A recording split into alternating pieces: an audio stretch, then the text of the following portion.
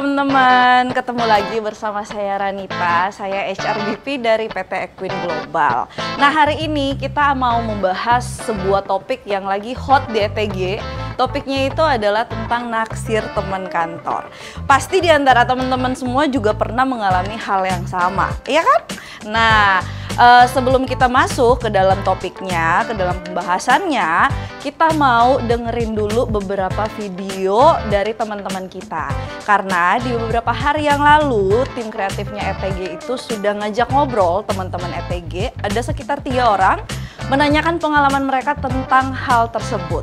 Jadi, uh, aku mau ngajak teman-teman untuk nonton sama-sama videonya. Yuk!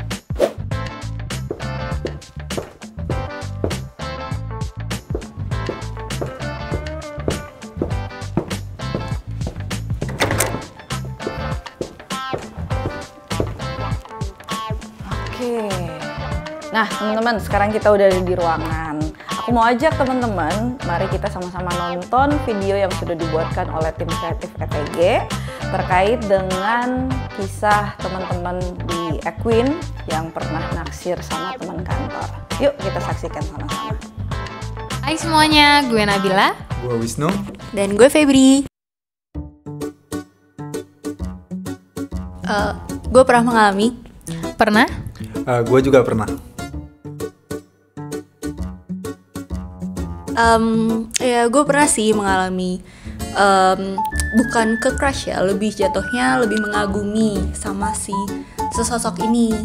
Nah uh, kenapanya? Karena uh, mungkin dia sesosok yang uh, karakternya bagus aja dilihatnya. Karakternya tuh ada karakter karakter berwibawa gitu karakter memimpin. Nah uh, sosok ini tuh juga bukan aku aja yang mengagumi tapi kayak dikagumi oleh semua banyak uh, wanita sih waktu itu.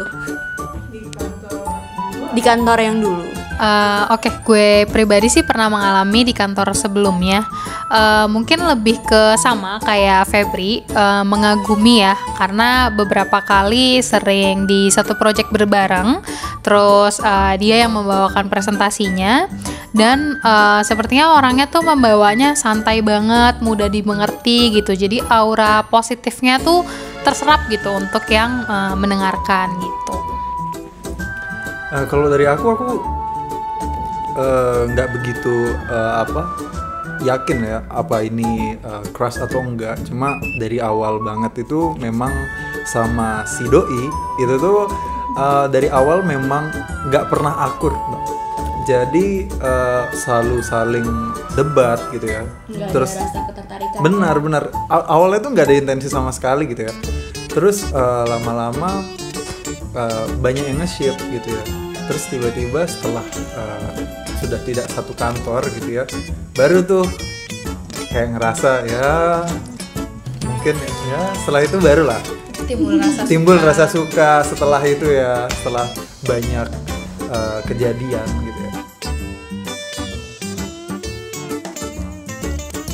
mungkin kalau dari aku uh,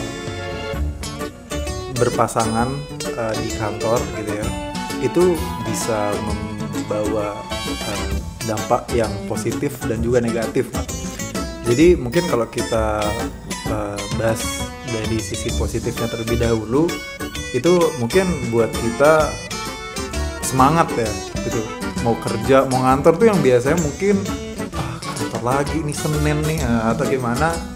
Jadi uh, mungkin punya motivasi lebih aja sih daripada yang sebelumnya gitu. Kalau misalnya pasangannya juga kantor juga gitu jadi punya semangat lebih lah. Itu nilai positif sih. Hmm. Kita udah sama-sama menyaksikan video uh, yang tadi. Uh, mungkin ada beberapa hal yang bisa aku tanggapi ya dari video yang tadi sudah disampaikan. Yang pertama, boleh nggak sih sebenarnya kita naksir sama teman kantor gitu? Kalau tanggapan uh, aku secara pribadi kita kan nggak pernah tahu ya teman-teman kita tuh akan bertemu dengan jodoh kita di mana. Jadi kalau naksir gitu ya atau pacaran dengan teman kantor sebenarnya kalau aku pribadi sih merasa sah-sah saja selama memang hubungan yang kita jalin dengan teman kantor kita itu tidak mengganggu profesionalitas kita di tempat kerja.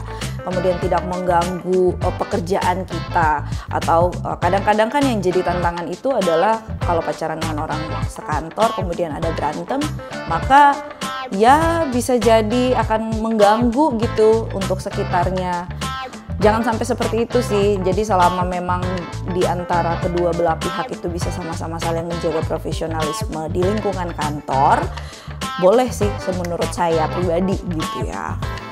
Kita lihat lagi ya, mungkin selanjutnya uh, ada beberapa tanggapan juga yang bisa saya sampaikan. Nanti kita akan lihat sama-sama.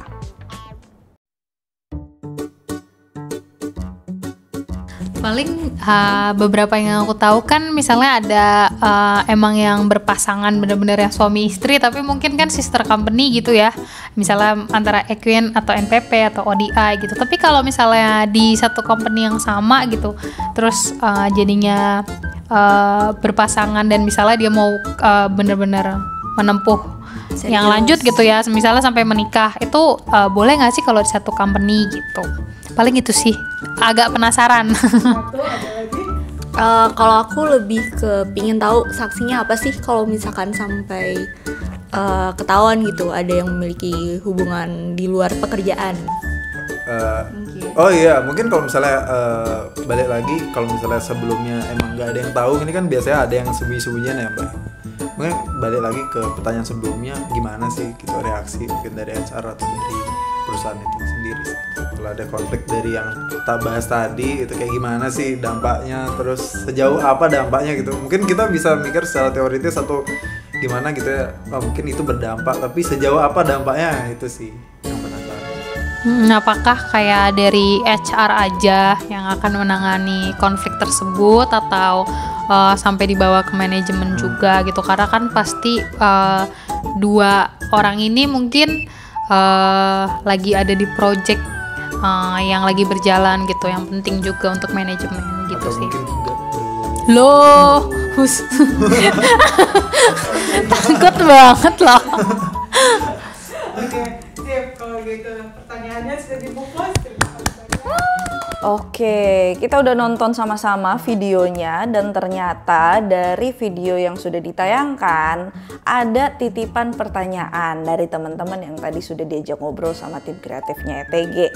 Oke, uh, di sini saya mewakili HR Equin Technologies Group akan bantu menjawab beberapa pertanyaan yang sudah disampaikan. Di sini sih ada tiga ya pertanyaan yang mau disampaikan. Kita akan baca satu-satu dan akan langsung kita bahas sama-sama. Yang pertama nih, kalau ada yang berantem atau konflik yang berdampak ke pekerjaan, seperti apa tanggapan atau solusi dari sudut pandang HR? Oke, yang pertama harus dijelaskan dulu ke teman-teman bahwa kalau di ETG sendiri kita tuh nggak ada uh, apa ya aturan tertulis yang melarang adanya hubungan di dalam uh, lingkungan kerja gitu. Jadi nggak uh, ada tuh aturan tertulis bahwa nggak boleh pacaran sama orang kantor atau apa itu tidak ada. Menikah pun masih boleh diizinkan asal uh, bukan direct reportnya kemudian bukan HR yang ngurusin. Jadi kalau HR terus uh, eh, HR-nya mengurusi karyawan tersebut misalnya HRBP dari uh, salah satu LOB HRBP LOB SAP misalnya kemudian nikah dengan uh, karyawan dari LOB SAP nah itu tuh yang nggak boleh. Tapi selama masih uh, tidak ada apa ya uh, hubungan langsung secara kerjaan sebenarnya itu sah-sah saja seperti itu. Nah balik lagi ke pertanyaan yang tadi kalau ada yang berantem konflik kemudian dampaknya sampai ke pekerjaan gimana atau sudut pandang HR-nya seperti apa? Uh, dari kita kita balikin lagi ke teman-teman yang menjalin hubungan karena yang mereka permasalahkan adalah uh, masalah di dalam hubungan mereka gitu. Kita sebagai HR pun eh, nggak uh, ada intervensi terkait dengan masalah yang sedang mereka alami.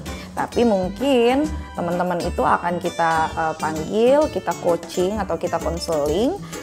Yang yang mau disasar adalah lebih kepada uh, apa yang menjadi masalah mereka sudah mempengaruhi pekerjaan mereka, kinerjanya mereka. Nah, itulah yang mau difokusin. Jangan sampai boleh semua orang pasti punya masalah gitu ya teman-teman kita nggak bisa menutupi uh, atau membatasi hal tersebut. Tapi ketika kalian punya masalah, selesaikanlah secara baik-baik, secara uh, profesional juga gitu. Sehingga setelah kalian sudah sama-sama ada di kantor, yang kalian lakukan di kantor adalah menyelesaikan tugas dan tanggung jawab kalian di kantor, bukan membawa masalah yang dari luar kemudian sampai mempengaruhi pekerjaan yang ada di dalam kantor. Itu sih. Jadi mungkin tindak pertama yang akan dilakukan oleh HR adalah kita panggil satu-satu uh, teman-teman yang sedang bermasalah tersebut, pasangan yang sedang bermasalah tersebut, kita ajak ngobrol, kita coaching, kita konseling. Seperti itu. Nah, kemudian yang berikutnya ada pertanyaan kedua. Kalau ketahuan hubungan tersebut bagaimana dari sudut pandang HR? Lagi-lagi balik ke statement uh, yang pertama yang tadi sudah sempat saya sampaikan, kalau di ETG kita tidak pernah punya aturan tertulis yang menyatakan bahwa tidak boleh gitu.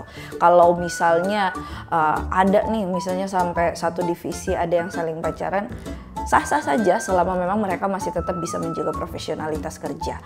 Kalau sampai sudah ke tahap selanjutnya, kalau kayak sampai udah mau uh, menikah atau sudah menikah, justru uh, kita lihat lagi nih case by case. Jadi nggak nggak semerta-merta kita berlakukan sama uh, apa namanya uh, respon yang akan kita sampaikan tuh tidak sem semuanya tuh uh, dilakukan secara general.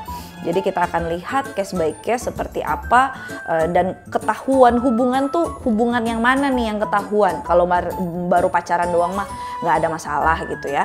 Tapi kalau mungkin sampai sudah menikah nggak mungkin lah kita nggak bisa tahu uh, oh ternyata ada teman teman-teman kita yang uh, di dalam satu inter satu divisi yang pacaran sampai mau ada di tahap pernikahan tuh nggak mungkin nggak ketahuan. Jadi mungkin ya kita obrolin dulu. Jadi sebelum mereka sampai ke tahap pernikahan uh, kita bisa cari jalan keluar sama-sama. Baiknya seperti apa. Apalagi bagi teman-teman yang ternyata menjalin hubungan dengan direct reportnya atau dengan HR-nya itu biasanya akan dicarikan jalan keluar sama-sama.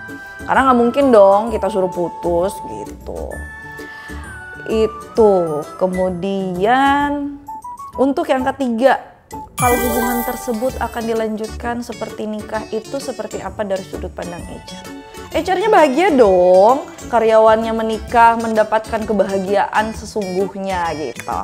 Uh, tapi lagi-lagi yang tadi disampaikan kalau misalnya memang itu adalah direct report, maka sebelum sampai di uh, pernikahan maka dari tim HR akan akan berdiskusi dengan manajemen gimana baiknya apakah mungkin di rolling divisi salah satu uh, karyawannya atau uh, diganti posisinya jadi uh, suami istri nggak boleh direct report gitu ceritanya seperti itu. Jadi kalau ditanya uh, seperti apa sudut pandang HR, ya bahagia masa orang nikah kita nggak bahagia. Seperti itu sih teman-teman menjawab pertanyaan yang tadi disampaikan oleh uh, rekan-rekan uh, kita dari PTG. Oke teman-teman, terima kasih banyak ya sudah mau menonton video ini. Dan seperti biasa kalau dari teman-teman ada pertanyaan atau ada ide-ide terkait dengan topik-topik HR yang mau kita bahas lagi atau mungkin mau ada komentar terkait dengan video ini, silahkan langsung saja drop uh, komen, pertanyaan, ide yang kalian punya, silahkan langsung ditulis aja di kolom komen. Atau kalau misalnya kalian mau, kalian juga bisa langsung DM kita di Instagram Equin Technologies Group. Di situ biasanya akan langsung di reply sama uh, admin. Jadi uh, boleh lewat mana aja kalian mau menyampaikan uh, pendapat atau ide atau komen silahkan. Itu aja yang bisa disampaikan. Uh, jangan lupa untuk subscribe, like dan juga share video ini ke semua sosial media kalian. Semoga uh, kalian, bukan hanya kalian yang mendapatkan manfaat dari video ini, tapi teman-teman kalian yang lain juga bisa mendapatkan manfaat yang sama dari video ini. Thank you so much. Sampai jumpa di lain waktu. Bye bye.